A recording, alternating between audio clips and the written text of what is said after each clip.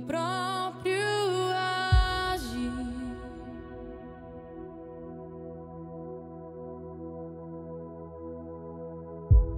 Sem tua graça, o que seria de mim?